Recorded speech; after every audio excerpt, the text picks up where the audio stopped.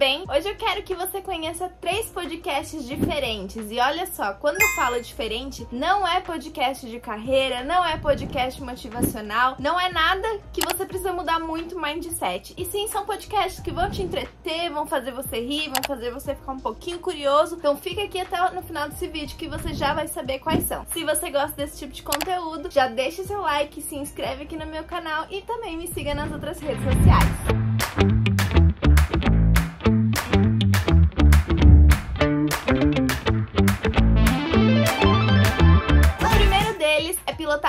Deia Freitas e se chama Não Inviabilize. Como ela mesma descreve, é um laboratório da vida real onde ela conta contos e crônicas que as pessoas mandam para ela. Então, realmente são histórias verídicas, o mundo inteiro manda para ela e ela dá uma mudadinha na cidade, distorce um pouco as profissões, os nomes dos citados na história, mas ela narra realmente os fatos como aconteceram. Em alguns casos, até desfechos, tá? É bem interessante porque ela divide em categorias. Então, algumas delas, só para dar gostinho para você são o picolé de limão, que são histórias azedas, alguma coisa que envolve algo meio trágico no meio do caminho. Tem o amor nas redes, tem o luz acesa, são histórias meio sobrenaturais, supernaturais, como queiram. Esse eu confesso que eu tenho um certo medo. Tem o de micos e tem um que é categórico de desfechos, para você saber o que aconteceu em algumas histórias que os ouvintes relatam, passado alguns meses, o que que deu fim àquela história. Então eu acabo me divertindo bastante, porque tem histórias que você não se acredita acredita, tem histórias que você fica revoltado com o personagem e tem histórias que elas ainda estão um pouquinho no começo e a pessoa escreve para que ela ouça dos ouvintes o que, que ela deve fazer. Ela quer conselhos. Então, no final de cada episódio, tem sim conselhos de quem ouve e acaba sendo bem legal porque você vê diferentes pontos de vista para a mesma história. Acaba sendo um podcast que eu escuto bastante no trânsito, dependendo do que eu tô fazendo até dentro de casa. É uma história que passa rápido, são 10, 15 minutinhos cada episódio e você vai ficando curioso, curioso, como é o caso desse esse aqui, escuta só. Tudo certo, foi tudo lindo. Nasceu o bebezinho. Quando chega o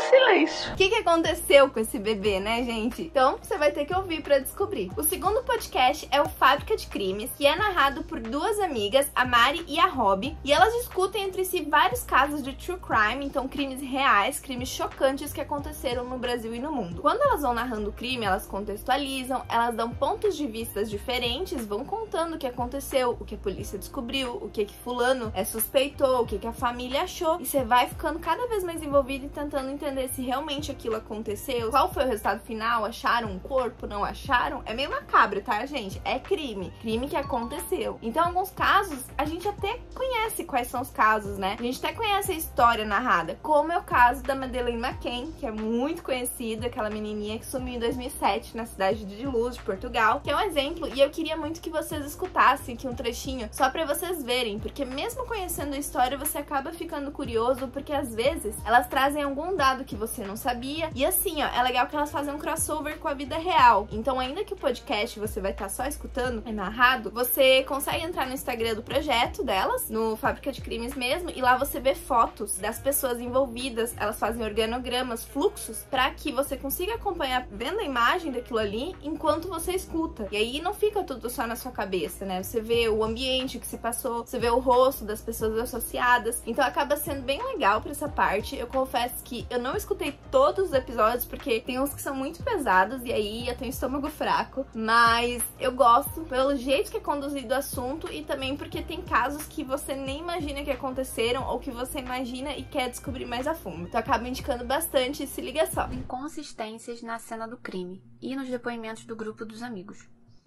Não sei se você lembra, mas no começo eu falei que a Kate McCann, depois de ter percebido o sumiço da filha, olhou o quarto três vezes e olhou embaixo da cama, só que ela não estava lá. É de ficar curioso, né, pessoal? Então, por favor, vão lá se gostaram dessa história e vamos descobrir qual é o terceiro podcast. E o terceiro podcast que eu queria que vocês conhecessem é o Projeto Piloto. Ele é narrado pela Thaís Farage e pela Lu Ferreira, que também são duas amigas, mas elas são muito diferentes entre si. Elas têm visões muito diferentes, criações muito diferentes e levantam debates muito interessantes. Então, no geral, elas falam sobre moda, maternidade, carreira e o que mais der na telha sobrancelha, elas não se prendem a um tema só. Como elas falam, é um jeito de tentar ampliar a visão de mundo de todo mundo. Eu acho bem interessante porque elas levantam pautas que, às vezes, se não fosse escutando elas, eu nunca pararia para pensar como que é o meu preceito, né? Como que eu avalio aquela coisa. E quer ver um exemplo? Olha só esse aqui sobre o medo de envelhecer. Escuta só.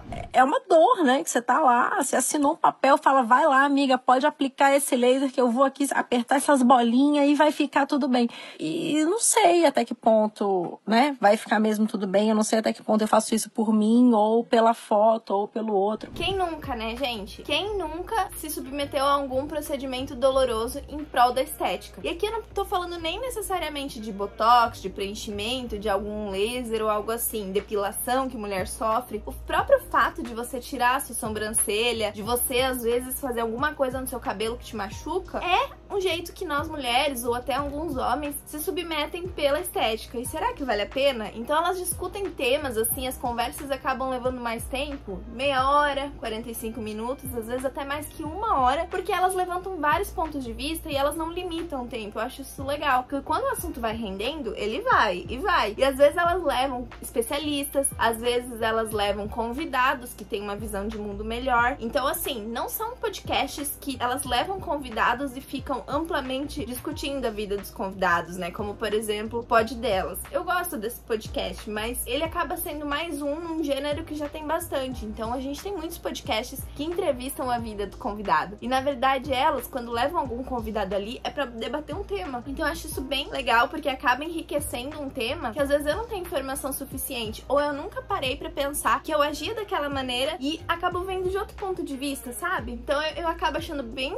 produtivo pro meu desenvolvimento desenvolvimento pessoal e eu espero que se você tiver aí apto, tiver vontade de, de ser disruptivo na sua criação, se você tiver vontade de evoluir como pessoa, acaba sendo algum papo que é como se você estivesse tomando um café com as suas amigas. Então é isso, hoje foi bem rapidinho, mas eu não poderia de vir aqui deixar de compartilhar contigo esse que tem sido um dos meus principais vícios ultimamente, porque à medida que eu tô viajando sozinha em casa, fazendo alguma coisa, eu me sinto acompanhada ouvindo esses podcasts. E assim, apesar de eu gostar podcast podcasts, por exemplo, como convidados que eu citei, ou podcasts mais construtivos, assim, sobre carreira, sobre política, acaba que às vezes a gente não tá com cabeça para isso, né? A gente só quer algo leve para passar o tempo, se você se desconcentrar um pouquinho, legal, porque você não vai perder o fio da meada. Mas assim, duvido que você vai conseguir se desconcentrar com esses aqui, porque realmente são histórias muito envolventes, tá? Esses podcasts que eu indiquei, e aqui não tem nenhum tipo de publi paga, estão nas principais plataformas digitais, eu acabo escutando pelo Spotify, mas eu sei que elas estão em várias. E vocês também conseguem acompanhar os projetos e quando saem novos episódios no Instagram dedicado que cada uma delas tem pro seu projeto. Eu vou deixar aqui embaixo qual é cada um. E se você gostou e não deixou seu like, deixa que, por favor, me ajuda bastante. Um beijo